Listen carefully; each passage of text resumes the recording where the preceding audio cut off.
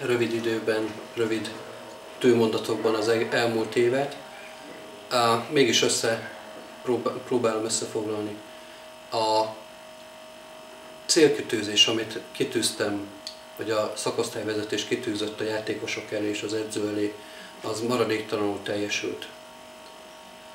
Megnyerték a bajnokságot, ez volt a mi elvárásunk, célkitűzésünk.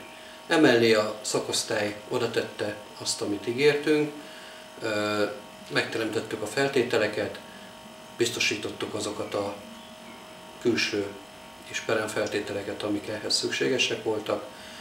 Ezzel a játékosok nagyon jól éltek, az edző nagyon jól kihasználta a, a rendelkezésre álló lehetőségeket, figyelembe véve az, hogy ugye kis szakosztály vagyunk, bizonyos szempontból korlátozottak, akár létesítmény, akár technikai felszereltség szempontjából a lehetőségeink, de mindezek mellett én azt gondolom, hogy a, a Molnár Józsi és a csapat mindent elkövetett annak érdekében, hogy a célkitűzést teljesítsék, és ahogy látszik a tabellán, ezt sikerrel is abszolválták.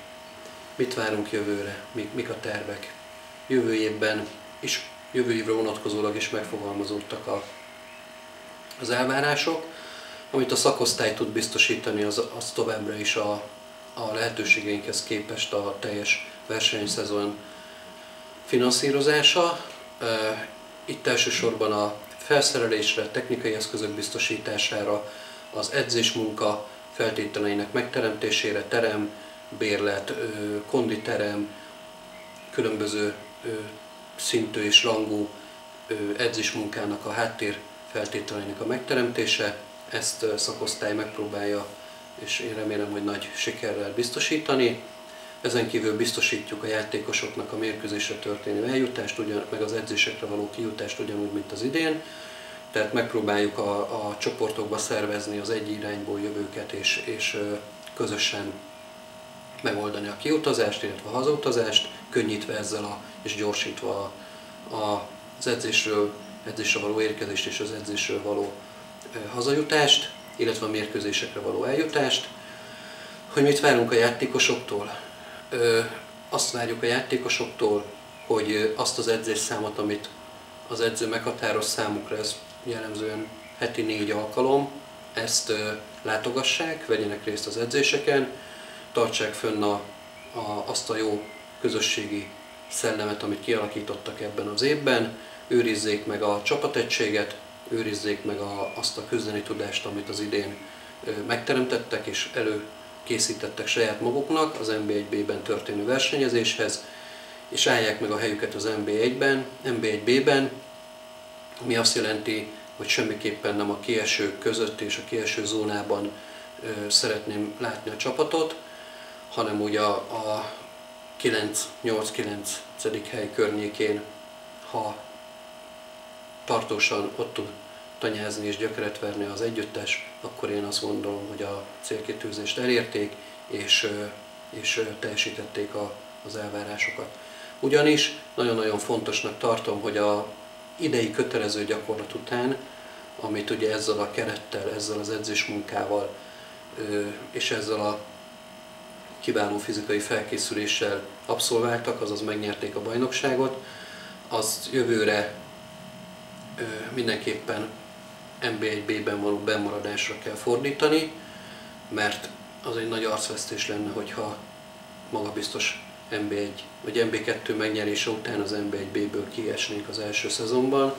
Ez, ez, ez nem, nem következhet be, már csak azért sem, mert az a hosszú évek óta tartó munka, ami beérett az idén, nevezetesen, hogy az utánpótlás csapataink számára egy megfelelő jövőképet tudjunk biztosítani, és egy olyan olyan elérhető, de megbecsülés szempontjából és verseny, verseny elhelyezkedés szempontjából egy MB1B, én azt gondolom, hogy az már a mai magyar kézilabdában egy, egy olyan szint, amit egy vecsés szintű utánpótlás bázisban nevelkedett fiatal igenis elérhetőnek tud maga előtt, látja a követendő példát, és, van, és tudja, hogy hova fejlődik, miért dolgozik hosszú éveken keresztül.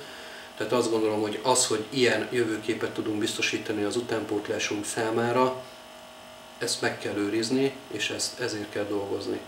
Majd azért, hogy ők egyszer mondjuk MB2-be eltöltöttünk 8 évet, én azt gondolom, hogy MB1-B-be is eltöltünk 8 évet, beérik az utánpótlás bázisunkból azok a tehetségek beérnek, akik, akik majd egy fokkal magasabbra tudnak lépni, megteremtődnek a városban azok a feltételek, csarnokunk lesz, stb., ami, ami elegendő lesz ahhoz, hogy magasabb osztályba lépjünk, akkor majd el lehet gondolkozni azon, de ezt a szintet biztos, hogy tartani kell, és mindig ott kell, ott kell lenni, és, és melegen tartani ezt a lehetőséget, hogy innen tovább tudjunk lépni. Vissza szerintem nincs út. Arról lehet tudni, hogy a mérkőzések akkor most jövőre hol fognak játszódni? Igen, tekintettel arra, hogy a idén használt tornaterem az nem alkalmas mb 1 mérkőzések lejátszására, ezért ülővel kötöttünk egy szerződést, az ülői sportcsarnokba fogjuk a hazai mérkőzéseinket lejátszani. Ebben segít a, a városvezetés, hogy ez minél jobban menjen, hogy, hogy ne legyen itt fennakadás?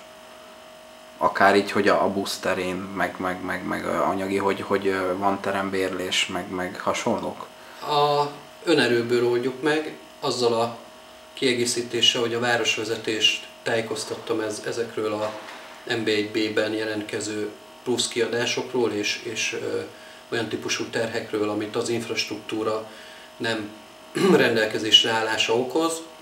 Ők, a városvezetés ezt megértette, megfelelő támogatásról biztosítékot kaptunk, ígéretet kaptunk arra, hogy, hogy a szükségleteinknek megfelelő támogatást megkapjuk a város részéről, de egyébként én azt gondolom, hogy nagy részben önerőből tudjuk ezt majd finanszírozni, az odautazást, az edzésekre járást, a visszautazást, azt saját buszból, busz vásárlással szeretnénk megoldani, de természetesen az idén is igénybe vettük az önkormányzat 9 személyes kisbuszát, amit gyakorlatilag kivétel nélkül, amikor szükségünk volt rá, az önkormányzat rendelkezésünkre bocsájtotta.